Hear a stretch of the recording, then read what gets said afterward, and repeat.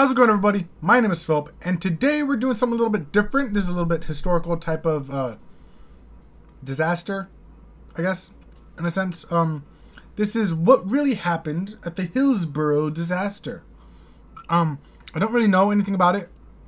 Uh, just looking at uh, the jersey, it's either Arsenal or Liverpool. I don't think that's Manchester United. Uh, I'm, I think it's Liverpool. I think I heard a little bit about it, and I think it, I'm pretty sure it's Liverpool. Um, I don't really know anything else. Obviously, it was a disaster, so something crazy happened, something ridiculous, something that probably could have been avoided easily, but uh, you know, just it, it, it didn't happen that way. it, it, it wasn't something that was easy to handle, I guess. I don't know where I'm going. I think I'm just losing my mind to set right now. Um, but I don't know what to expect. I, I don't really know, again, what teams. Obviously, it's either Arsenal or Liverpool. Again, pretty sure it's not Manchester United. Um, but uh, let's check it out. Okay. Nin explains what's really happened at the Hillsborough disaster. Tell me. The Hillsborough disaster is one of the most tragic events in English football history. Oh, damn, they're But climbing up really the. Uh, on the day where 96 the second tier. lost their lives. jeez. The story begins Saturday, the 15th of April. Oh, that makes sense because of the jersey. was And it's the. FA Cup semi final between Liverpool and Nottingham Forest. Liverpool. Gotcha. It's due to kick off at 3 pm, and the match is being held at Hillsborough, the home stadium of Sheffield Wednesday. It's a sellout, and all 54,000 tickets have been sold. Okay. By noon, fans have started to arrive, and Liverpool supporters have been allocated the west end of Hillsborough that keeps them away from the Nottingham Forest fans arriving from the south. This also means that Liverpool supporters will all have to pass through one entrance, Leppings Lane. 10,000 Liverpool supporters have tickets for the standing terraces, but they'll have to enter through just seven turnstiles. By 2 pm, a little over 2,000 supporters have done so, meaning that 8,000 are still to come. With how much time In left? the hour before kickoff, after passing through the turnstiles, many fans go straight down the tunnel, leading into the central pens behind the goal, pens 3 and 4. By quarter past 2, a crowd is starting to build outside the stadium, and it increases rapidly over the next 15 minutes. Progress through the turnstiles is steady, but slow, and inside, a loudspeaker message asks the people on the terrace to move forwards and spread along sideways. Yo, so here's the thing. This is why you get there like an hour early. I don't okay, so I don't know how different it is than here in the US, but a lot of the times obviously we don't have stand we I mean we do have standing room only, but um I guess it's a little bit different. It's not as much standing room, but like at least with my parents with us, like we get there almost hour early. Like it's still like 40 minutes or something like that, depends on traffic. But we leave like so if the game starts at 3, we would have left at 12. we get there, which is obviously more than an hour, but depending on traffic, a lot of the times you get there closer to it's about an hour traffic, 1.30, 2 o'clock ish, and then you spend about an hour getting food, getting things ready, you know, going to use the bathroom so you don't have to get up. That's just, I mean, obviously that's just us. So, yo, by the way, this light's making me look stupid white, but we get there early enough so that we can relax. We have time to walk around the stadium. If there's something we want to buy, we try not to. but for the most part, we walk around. If we see someone we we know, we know. My parents told me would uh, stay and talk to them. I would continue to walk around like, oh, there's this. You know, at least at the Earthquake Stadium, they have like all these uh, food trucks lined up in the back. And if you want, you can go get go go to a food truck, get something to eat, whether it's barbecue, Korean, barbecue, or Hispanic, whatever. You know, there's literally like seven food trucks. It's it's, it's insane. you can walk through the store, be like, oh, hey, look, guys, my birthday's coming up. Come, you know. But basically, you know, we get there hella early, so that we don't have to wait in line. And then if we're hungry, you know, we can go get food. You know, it's, it's just basically time management, and it just doesn't seem like it happened here, which sucks. But high fences divide the pens, and gates between them are at the back. So the more full pens become, the harder it is to switch pens. That the man in charge of the match, Chief Superintendent David Duckenfield, and another officer discuss whether to delay the kickoff to give people more time to enter the ground. Yeah, why not? They decide against doing so. Why? Outside, Liverpool supporters are pressing against the turnstiles, and by 2:45, only 5,000 fans are through, meaning that there are still more than 4,000 fans with tickets for the terraces outside the ground. Thousands are now packed into the Leppings Lane bottleneck. Okay, so that's one thing I'll say. If you got there early enough, or if you just got there, I mean that's kind of fucked. Especially with only one area to go through. Like, why isn't? I don't. Anyways, let's just continue. Stationed outside, Superintendent Roger Marshall makes several requests for permission to open the exit gate to relieve the pressure. Inside the ground, central pens are filling up. Chief Superintendent Duckenfield gives the order and Gate C is opened. Probably a bad idea. More than 1,400 fans head in through the gate, and many head into the packed pens 3 and 4. The gate remains open for about 5 minutes. The match kicks off just before 3 pm. Yo, okay. So for one, you opened it for five minutes. How many hundreds of people were able to get through? If not close to a thousand. Like there is so many people out there waiting. Yo, what the and fuck? the crush at the front of the pens is getting dangerous. A barrier breaks in pen 3 and people fall forwards, increasing the pressure on those at the front. Jeez. At this point, people are dying.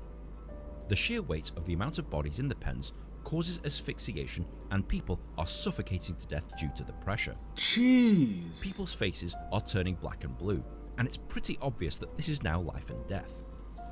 As the crush intensifies, some fans escape by climbing over the fence on the front. It's apparent that this is now an emergency, and the police stop the match at 6 minutes past 3.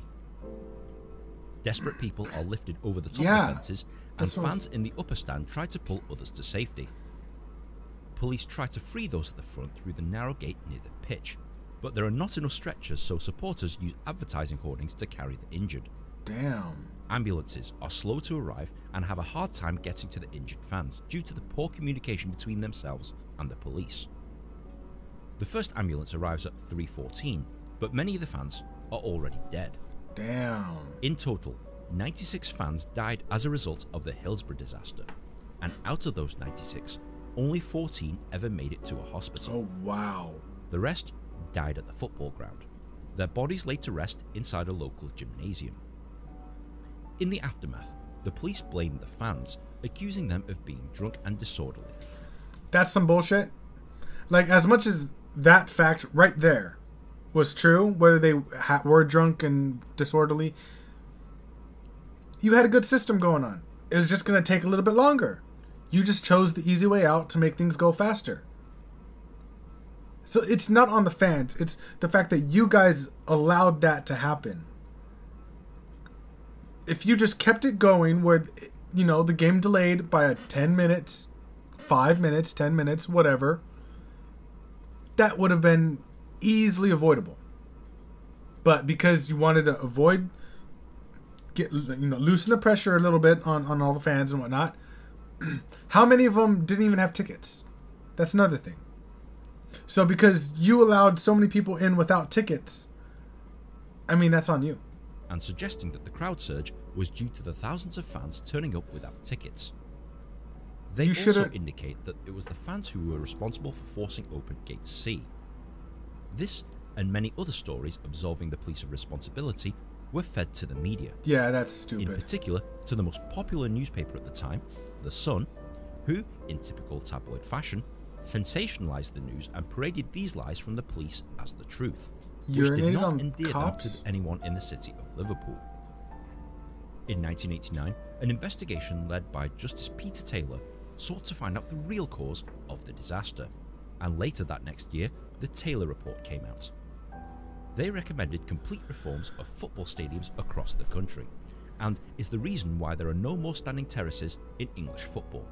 Huh, okay. In 1991, an inquest into the deaths of fans concluded that the deaths were accidental, but the relatives of the deceased were not happy with this decision. Yeah, I wouldn't be happy either though. Over 25 years of fighting and lawsuits ensued, and a new inquest in 2009, led by the Hillsborough Independent Panel, reopens the case. They found Okay. that So, one thing that I've always thought was very interesting is when cases get reopened, like decades later, it's like, how do you find new evidence? I'm sure he's going to go over it here, but like, how is it that, like, like here's my thing, like, from let's say for murders, specifically murders. I get that we have new technology, but how do you find new evidence? Okay, so we found we have the knife, we have the murder weapon, we have the fingerprints, we have this and that. New evidence, you know, I, I hear all the time new evidence is found.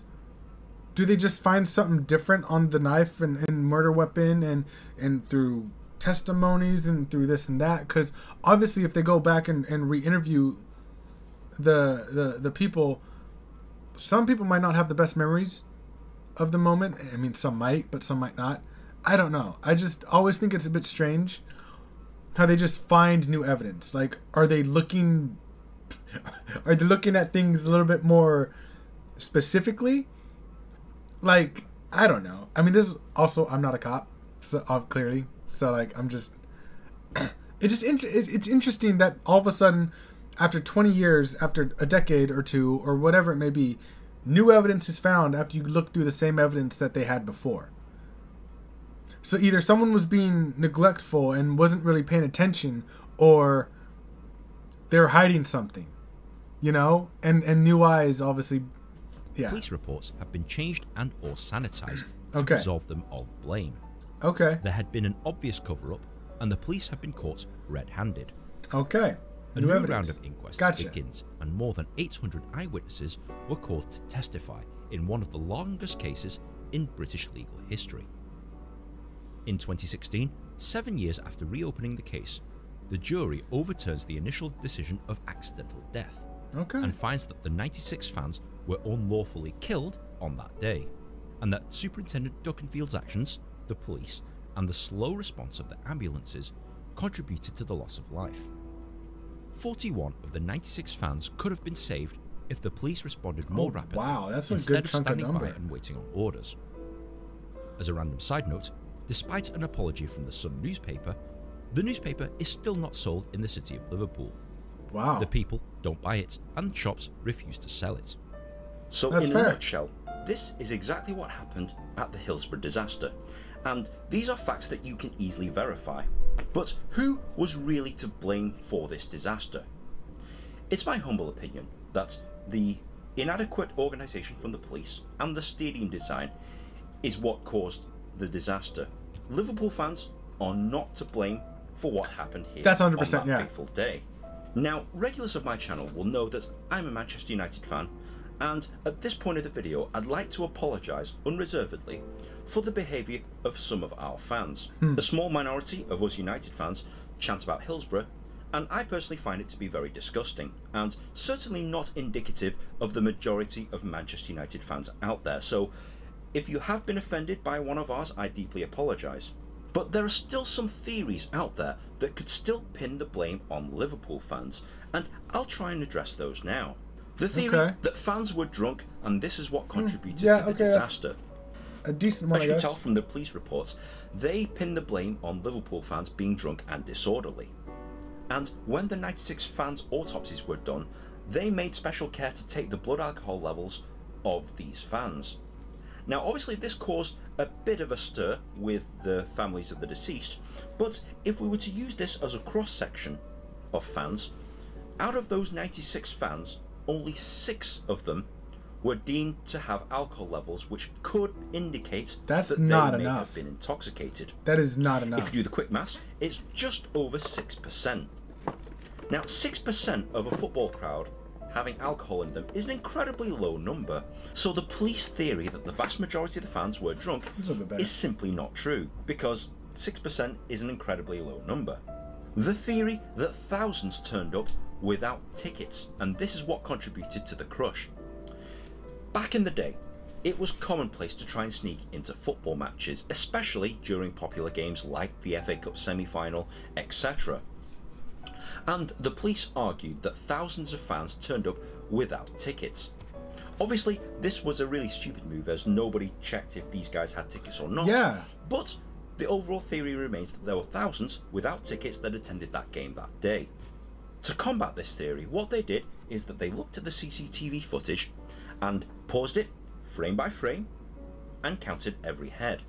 The actual number that went through Gate C 1400, which Wow. is less than the thousands that the police alleged, and is actually about the right number that could have stood in those terraces. It's about right, the figures do add up. So the theory that thousands of fans turned up without tickets is simply bogus. Okay. The theory that it's the Liverpool fans' fault because this has never happened before. Actually, it has. Eight years earlier, at a similar semi final between Tottenham Hotspur and Wolverhampton, the exact same scenario played out.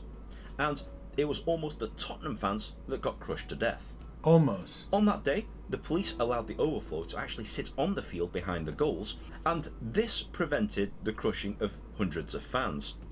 Now, at the time, this was a non event. Nobody reported on it because nobody died, but the fact that it happened eight years earlier with a completely different team indicates that this is not a problem specific to Liverpool fans. The only theory that cannot rightfully be debunked is the fact that the Liverpool fans were actually trying to push their way into the stadium. If we take a close look at the CCTVs, you can clearly see that the Liverpool fans are trying to push in. It, it's there in black and white, you, you cannot Yeah. dispute this.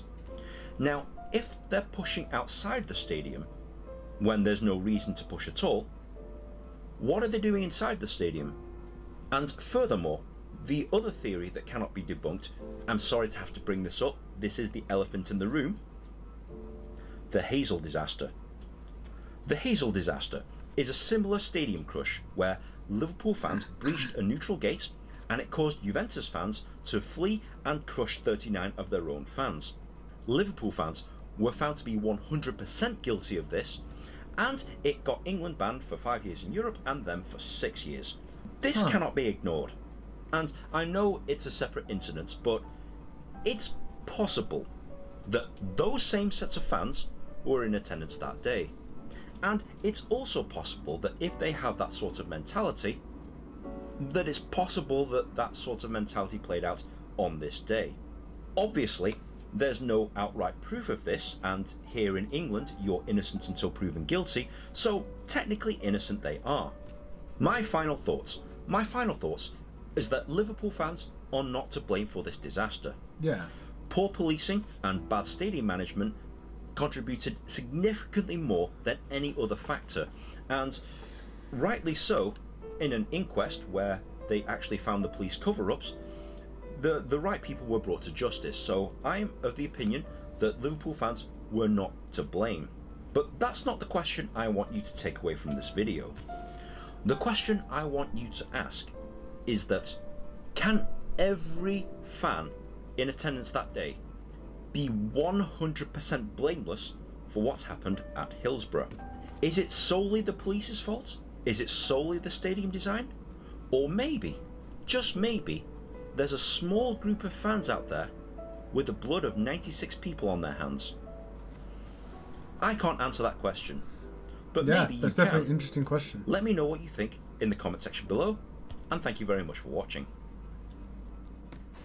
So that that's definitely a, a, a great question. It's interesting that it's happened before in the same stadium. It's happened before, and yet the police handled it wonderfully, from what he's said. So that makes so obviously using that evidence, you know, you could say, oh well, it is Liverpool fans, you know, and especially if you team if you add that up with what happened, what he said Juventus. So if you add those two together, you know, then you could definitely blame Liverpool fans. But also, it's actually it's hard to fully come to a conclusion because you're not there, and and and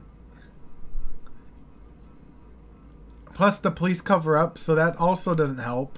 It's just there's so much going on that it's just hard to fully decide on what what actually happened especially because you don't know we can't go back in time and and and see granted, I'm sure a lot of there's gonna be a good chunk of people that want to go back in time to try and stop it, which that's fair. But like, it goes unsolved. like it's it's it's just it's just that simple, I guess. Maybe not simple. Simple is probably not the right word to use. It's just that complicated that it's it goes unsolved or hundred percent unsolved. Like it's solved for the most part of we're blaming the police because of the cover up and this and that, but how much of it is to blame on Liverpool fans overcrowding? And part of it because he did mention how the barrier, one of the barrier barricades, barriers or whatever, collapsed, and that could have been a big issue that that started pushing people towards it. But that wouldn't it's just it's just one of those things where that wouldn't push people to the point of death. You fall and then you get back up. You know, it wouldn't be like you fall and you stay there for like ten minutes and be like, oh, okay, sorry, I fell. You know, it, it's one of those. Oh, sorry, sorry, I fell, and then you get up. You, you dust yourself off or whatever you want to do. If you hurt your knee, you're like, ooh, my knee, ow, okay, and, and then you're good. So it's it's a rough one. I don't know it's it's interesting. It's terrible that it happened, but it's it's just one of those that just leaves you scratching your head. I don't know. It's definitely interesting. Let me know what your guys' thoughts and theories are. Like what which 100% like are you like more leaning towards which one, like which theory you're leaning towards and and whatnot. So uh, let me know. I I I I don't know like I said, if they just left the gates closed, then I need to check out that other one that that he was talking about with Juventus. Is if there's if there's a video on that, I think I think there's this one right here. The Heysel disaster, I think that's what he was saying. So I'll, I'll check that one out next, and it has to do with Liverpool again. So I don't know what's going on with whether it's Liverpool fans or just the club. Maybe it's because they were laughing about Manchester United team dying in a, in a plane crash. Maybe this is their karma, which kind of sucks. But I mean, yeah, it, it's it's definitely quite interesting. Uh, let me know what your guys' thoughts are in the comment section below. Subscribe for more content just like this. Uh, I want to do more history, historical sport stuff, kind of related, and and and disasters or, or interesting facts or players in general. I, I do plan on getting into the Messi is a god video or something like that. Is a goat Messi the goat or some shit like that. I don't remember. Uh, I, I think I have it saved. But uh, let me know in the comment section below what else I should react to, and uh, I will see you guys next time. See you later.